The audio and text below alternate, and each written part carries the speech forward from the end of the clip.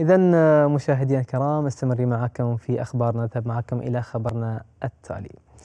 مؤسسة الشرقة للفنون تعلن عن تأسيس قسم فنون الأداء. تفاصيل هذا الخبر كشفت الشيخة حور بنت سلطان القاسمي رئيس مؤسسة الشرقة للفنون اليوم عن تأسيس قسم جديد لفنون الأداء تحت إشراف طارق أبو الفتوح الذي سيشغل منصب مدير فنون الأداء وقيم أول في المؤسسة وسيشرف هذا القسم على تنظيم مجموعة متنوعة من البرامج الموسمية التي تشمل تقديم عروض الأداء وتكليف الفنانين بإنتاج عروض جديدة بالتعاون مع المؤسسات المحلية والإقليمية والدولية.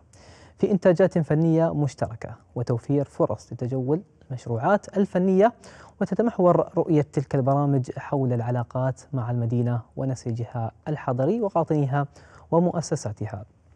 إذ تتم دعوة فنانين محليين وإقليميين وعالميين لإقامة فنية متعددة لإنتاج عروض بتكليف من المؤسسة وتقديمها في شوارع وساحات ومواقع غير تقليدية في مختلف أنحاء المدينة.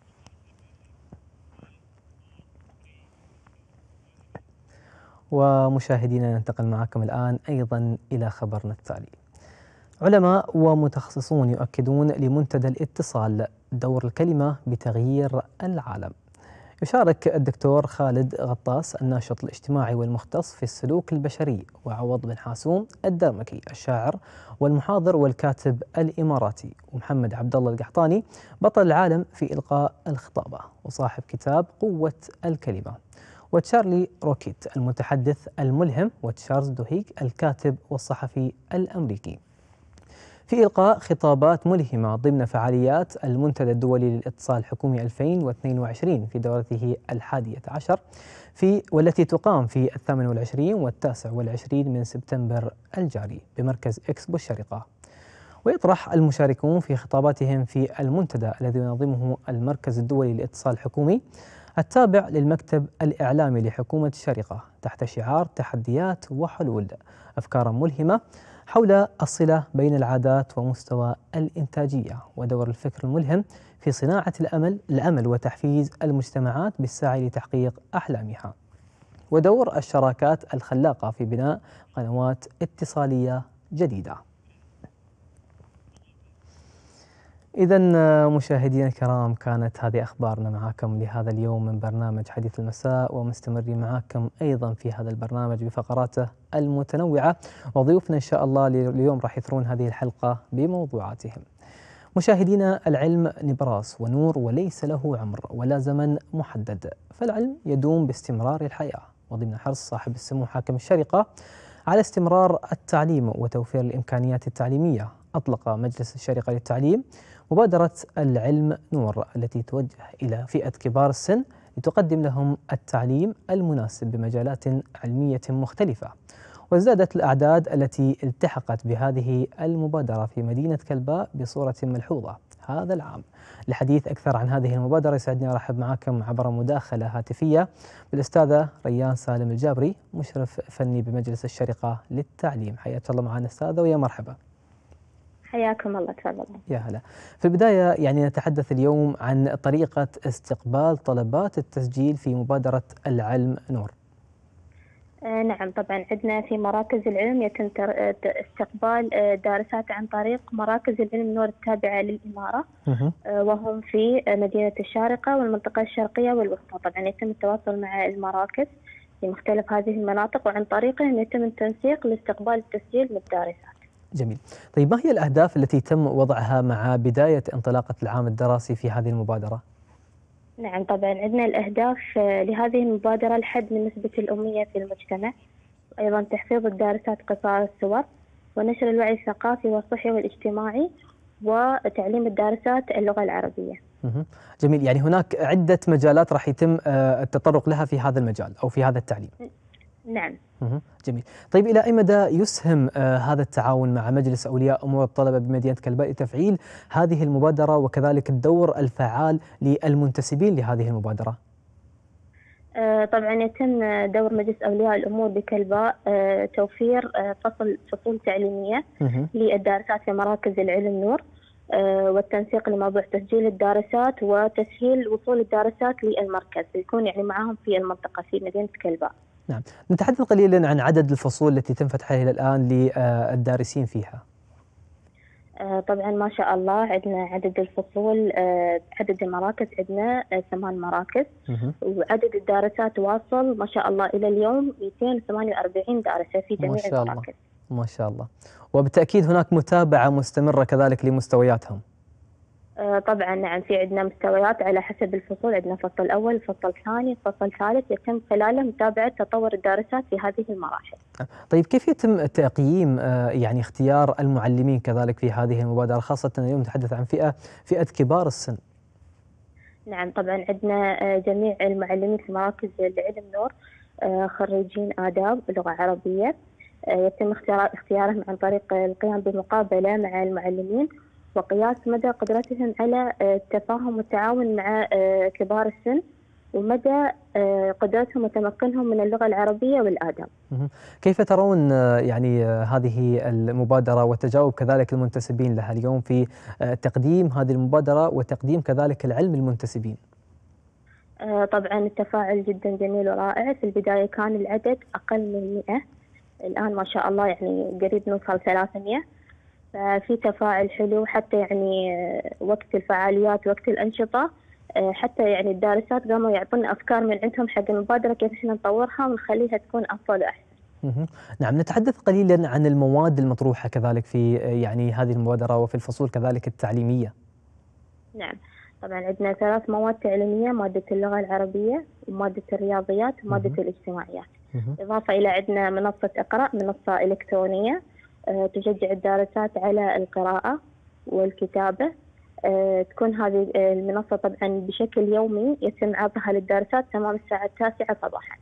يتم متابعة الدارسات كذلك عن عن طريق هذه المنصة بحيث أن يعني آه، يكون هناك مواصلة في تعليمهم كذلك بحيث أن طريقة استخدام هذه المنصة؟ آه نعم إحنا عندنا طبعا مستويات تعليمية مستوى تمهيدي مستوى أول ومستوى ثاني. آه على هذه المستويات طبعا الدراسة عندنا تبدأ بالمستوى التمهيدي وعليه تنتقل من المستوى التمهيدي إلى المستوى الأول إلى المستوى الثاني. آه طبعا خلال هذه المستويات يتم تطور الدارسة في القراءة والكتابة. آه وأيضا آه الأمور الاجتماعية والصحية وكذا. نعم. ولكن هل جميع المنتسبين على دراية بطريقة استخدام المنصة؟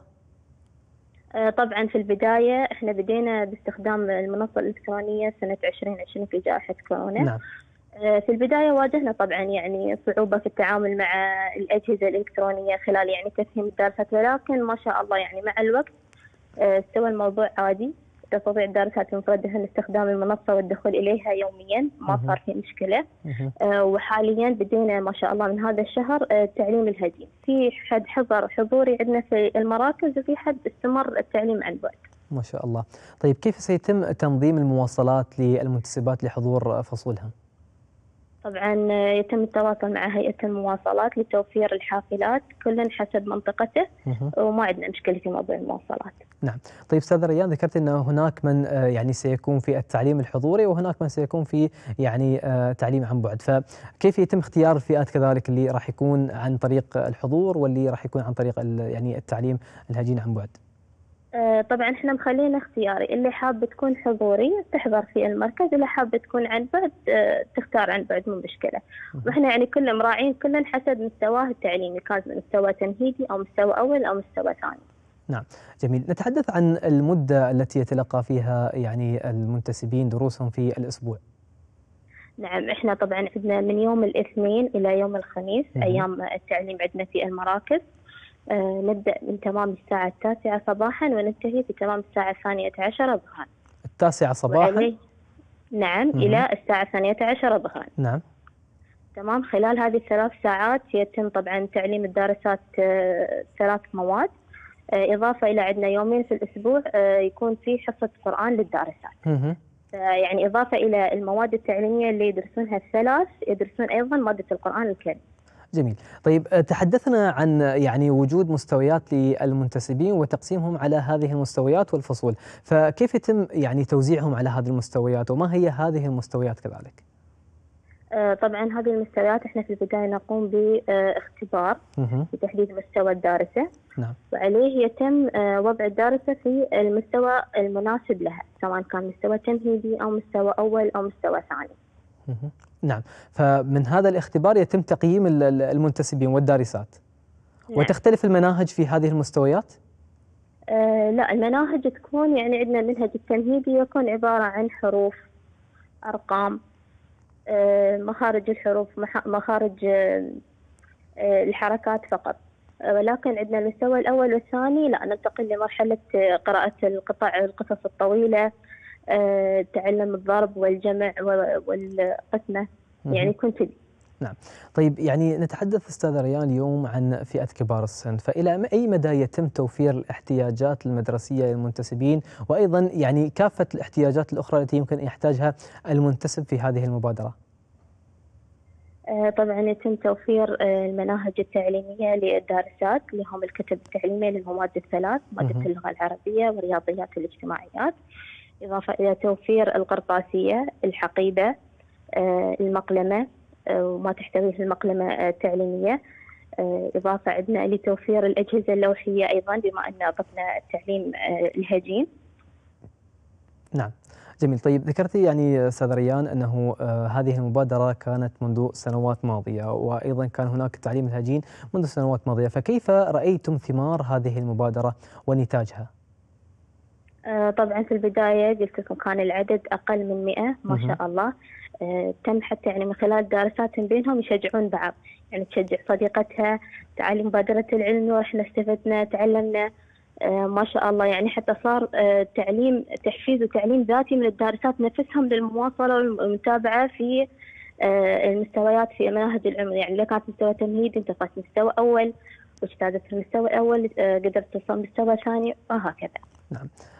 طبعا نشكرك على هذه المداخلة الأستاذة ريان سالم الجابري مشرف فني بمجلس الشريقة للتعليم وكل التوفيق لكم وللمنتسبين أيضا في هذه المبادرة وأيضا يعطيكم العافية على دوركم الكبير. شكرا لكم. شكرا يعطيكم العافية.